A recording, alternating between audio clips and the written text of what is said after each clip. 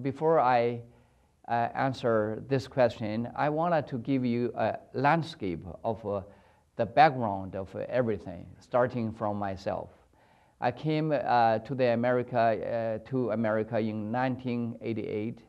I was uh, uh, I was born in a very small city of 10 million people in Shandong province, and a lot of people don't know Shandong province is where Confucius is from. So uh, I was very lucky after uh, medical school, graduate school in Beijing. I came to Bethesda, Maryland, and I studied in National Institute of Health under a very prestigious uh, uh scholarship called the Fogarty International uh, Award Scholarship. And uh, I, I, I'm very, very indebted in the two countries. The first one, the, the country where I was born, I studied, and uh, all the tuition was paid.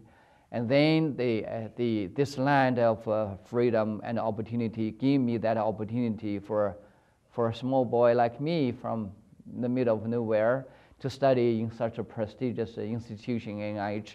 I worked in the lab very, very hard for six years. I learned so much. So uh, I feel, my life, I feel very, very grateful to both, and I want to give back. I want to save as many patients as possible. I, do, I wanted to save American patients, the Western patients, and all patients around the globe. And the science, only science can do that. So, uh, you know, when I was in college, even when I was studied uh, in the in the uh, NIH in the laboratories, I, I never knew what is called mantle cell lymphoma. I never knew I would become a lymphoma doctor and a mantle cell lymphoma doctor. So, uh, so you know, life just takes you where uh, it is. But if this is the opportunity. I think I, I'm trying to working with my team and other pe- respected colleagues in the college in, in the field, so that together we can make a dramatic impact for our patients and their families. So, the BTK inhibitors belongs to a category called targeted therapies.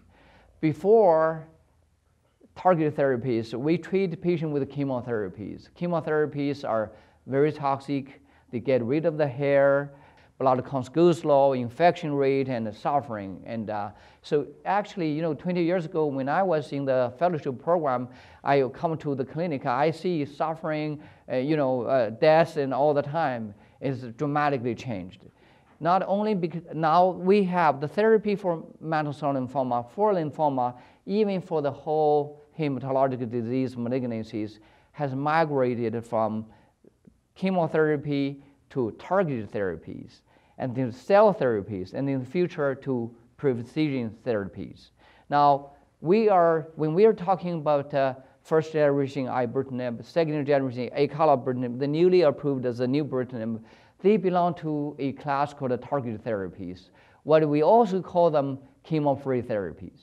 Okay, so now chemotherapy, chemo-free therapy cannot cure all the patients, then we use cell therapies. Cell therapy with all the chemo, chemo-free cell therapy cannot cure the disease. We're looking future precision medicine.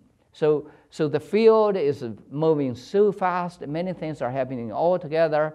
It has never been a good time to be an academic hematologist, oncologist. Uh, for mantle cell lymphoma, is one of the fast moving areas and it's never, never a good time to have mantle cell lymphoma is the best time because most of the patients could live for many years.